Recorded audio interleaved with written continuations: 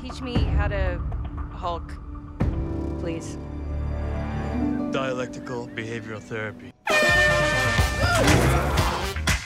What the hell, man? Still in control, no overwhelming feelings of rage. No! A normal amount of rage! Who the hell are you? Jennifer Walters, attorney at law.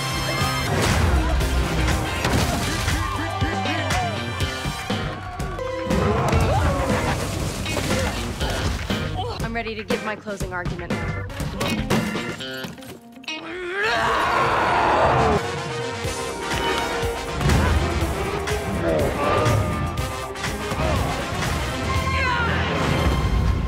Why are you talking to me like I'm a stray horse? Jen? Yeah? Wait, wait. Okay. Tommy! That's all you got? Ah!